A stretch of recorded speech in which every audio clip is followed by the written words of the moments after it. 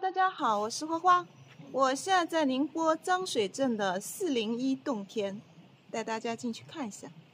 四零一洞天原称四明山一号指挥工程，是上世纪六十年代由南京军区司令员许世友上将实地勘察并指定建设的一项重要战备设施。随着国内外形势变化，其战备功能改作旅游景观，从而向世人揭开了神秘的面纱。这里是坑道的入口，入口设计非常特殊，总共有四道门。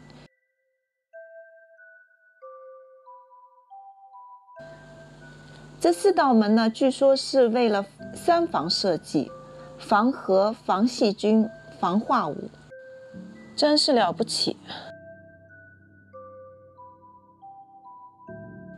这个是门上面电线的管道。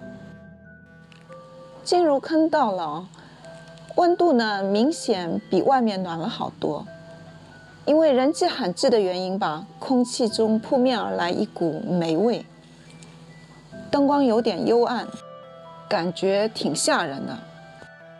这一段两边是红砖，顶部呢就直接是开凿的岩壁了。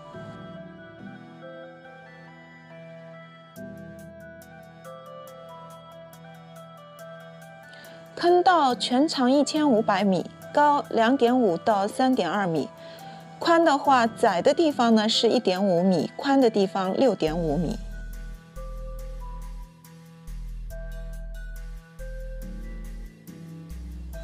坑道这里经过一个拐角呢，是豁然开朗。墙上图片展示的是这个工程的前世今生。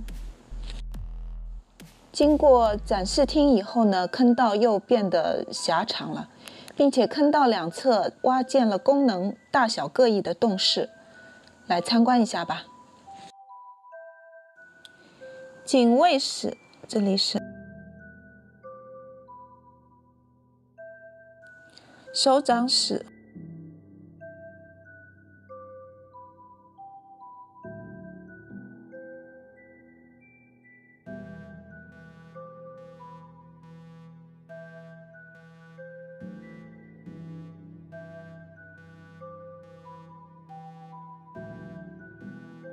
值班室，这里有一个房间是宣传和生化知识的。这个是武器库，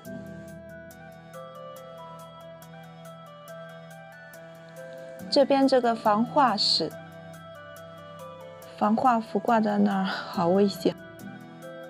礼堂。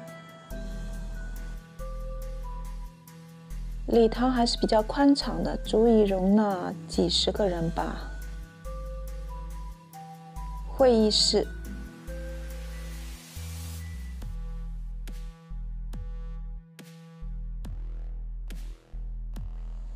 这里是通讯室。这些那个年代的通讯设备，你们都看到过吗？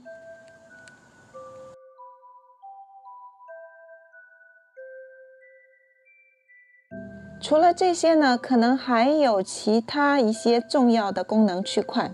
那么，由于坑道里面呢氛围太过幽暗了，止步于此。你们有兴趣的话，可以自己来看哦。今天的视频呢就到这里，我们下期再见，拜拜。